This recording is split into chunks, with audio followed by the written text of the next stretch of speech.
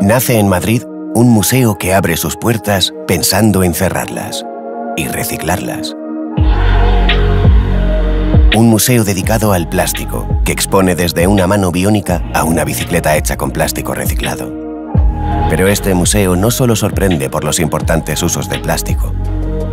Lo que lo hace único es que está íntegramente construido con diferentes tipos de plástico moderno y sostenible, y que será reciclado al 100%. Porque el plástico, además de necesario, puede ser sostenible y respetuoso con el entorno.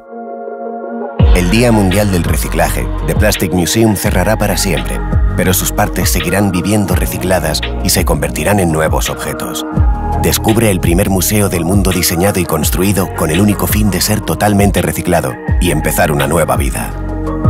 Visítalo frente al Museo Reina Sofía en Madrid o en theplasticmuseum.com.